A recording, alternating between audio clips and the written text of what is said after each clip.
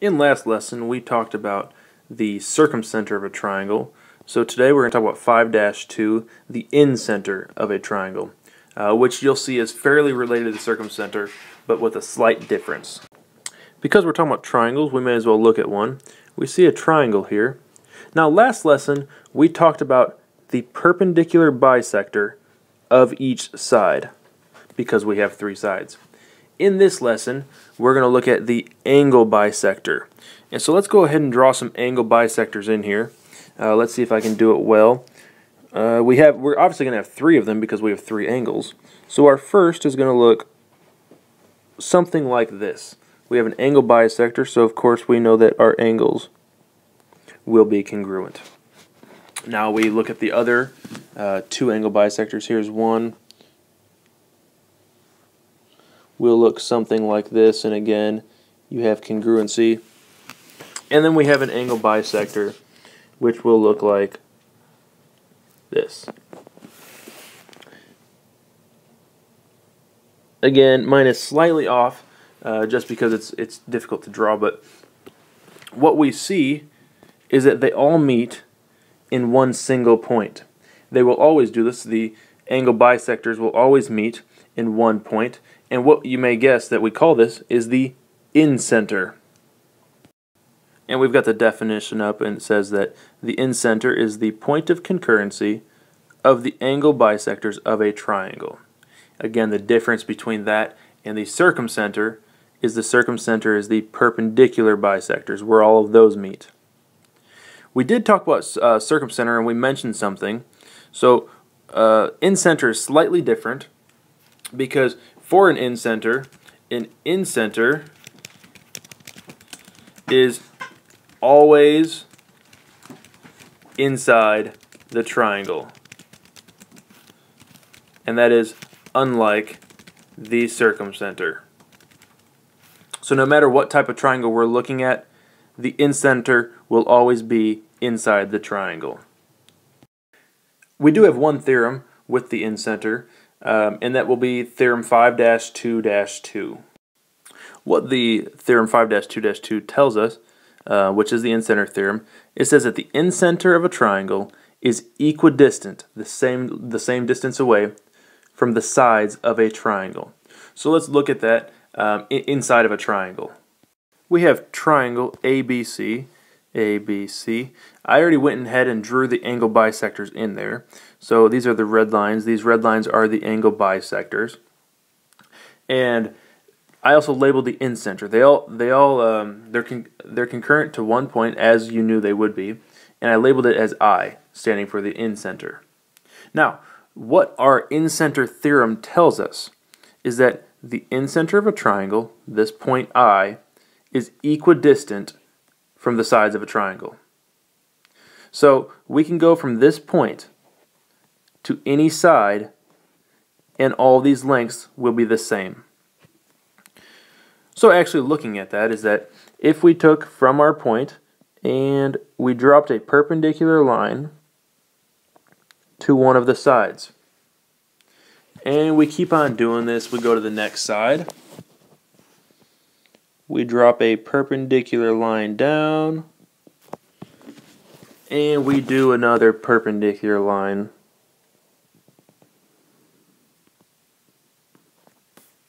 So we have the di the distance from I from the incenter to all of the sides.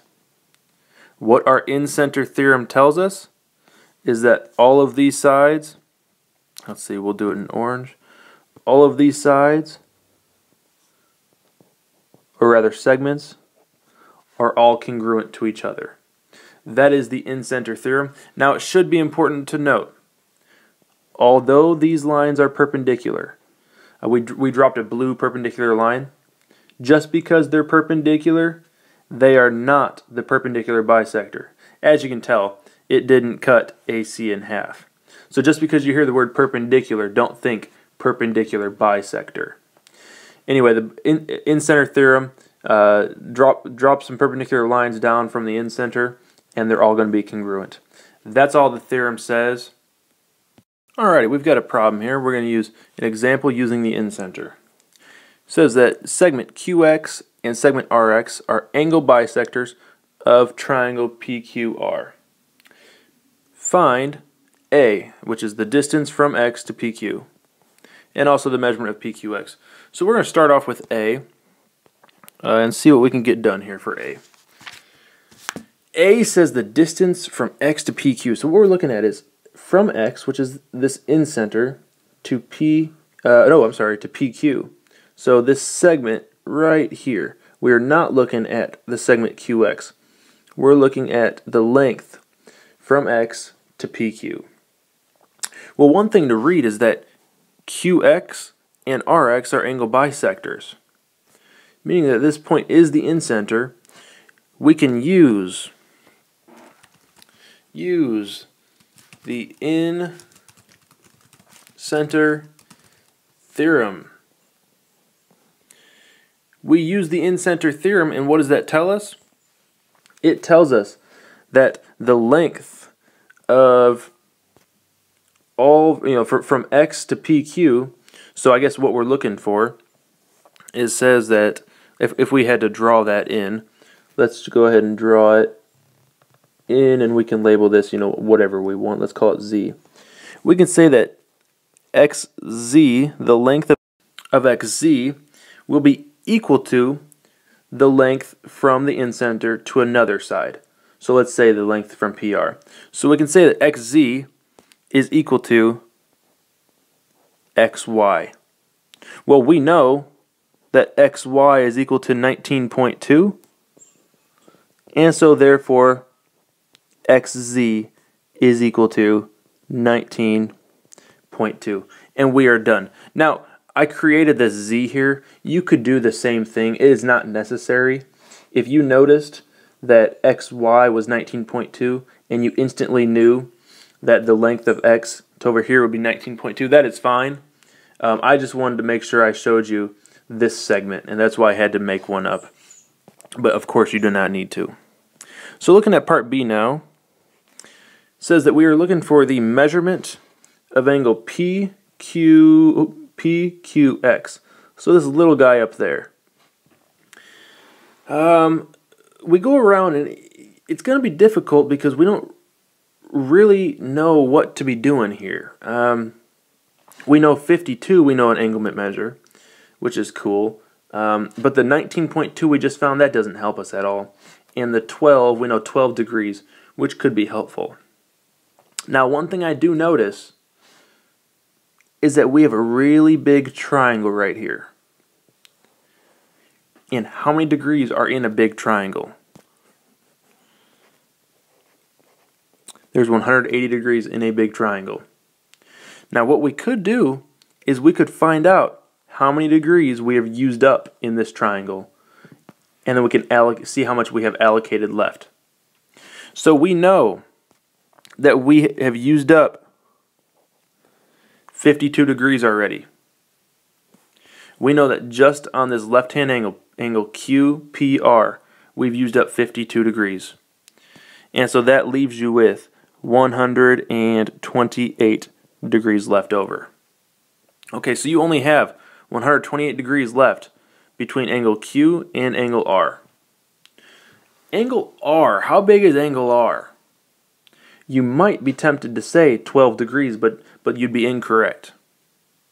I say that because Rx is an angle bisector, meaning that over by angle R we have two congruent segments. One of the congruent segments is 12. What this means is that the other congruent segment is also 12 degrees. So actually in angle R, we've used up two 12 degrees or we've used up 24 degrees. Um, and so what does that leave you with? I think it's 104 degrees. That leaves you with 104 degrees to use for big angle Q. We're not looking for angle Q. We're looking for PQX. Half of angle Q. How did I know that it was half? We have, an, again, another angle bisector. So we have more congruent angles. Meaning that the 104 degrees right here is divided by 2. We have 104 divided by 2, which will give you your final 52 degrees. And this is what um, the measurement of angle PQX is. And so what we used is not, not necessarily information about the incenter, but we used information about the angle bisectors. And that's going to be very helpful to realize. Okay, so what is the difference between the circumcenter and the incenter? Uh, we're going to look at this through an example I made up. Um, there's a triangular park bordered by Ace Drive, Back Boulevard, and Clear Street. In the park, there's a water fountain at each corner, simply labeled as 1, 2, and 3. Where should a playground be placed if the playground is the same distance from all the streets, or the playground is the same distance from all the water fountains? So they want to come up with a playground, and there's two options uh, to go with. So we're going to look at what we can do. Okay, so looking at a possibility of what this park may look like, we have A Street, back, clear, first water fountain, second, and third. So looking at where this playground might go, um, obviously it's going to be in the green park area somewhere. Uh, but part A says we want the playground to be the same distance from all the streets. So we want this to be somewhere uh, where it's equally centered, equidistant from all the streets. Well, didn't we just talk about that the incenter is the same distance from all the sides of the triangle. We notice we have a triangle here. And so if we were to explore the incenter, um, you know, the, the point of all these angle bisectors, then wouldn't this point be equidistant from all the sides of the street? And so for part A, all we need is to be on the incenter or uh, yeah, we need to be. We're going to locate the uh, the playground at the incenter of the park, and that's all we're going to use. And if, for a def or for a reasoning, we could say through theorem, uh, through the incenter theorem.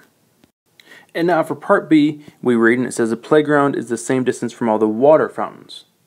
Well, think about it. We have a triangle still. We still have a triangle, and we have three vertices.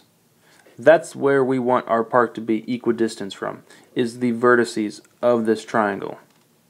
Now think back, we mentioned that the circumcenter is the same distance away from all the vert vertices. So if we were to draw our circumcenter in, you know, our perpendicular bisectors, uh, there's one that looks like one and the other looks like about here, then this point would be the circumcenter and it's the same distance from all of our vertices. And so instead of being on the incenter, we would now need to be on the circumcenter. So try to understand that difference is that um, depending on what we are trying to be the same distance from, are we trying to be the same, same distance from the sides or from the vertices? Because your answer will vary uh, between incenter and circumcenter. That's all we've got for today, so I hope you understood. And again, try to understand the difference between circumcenter and incenter.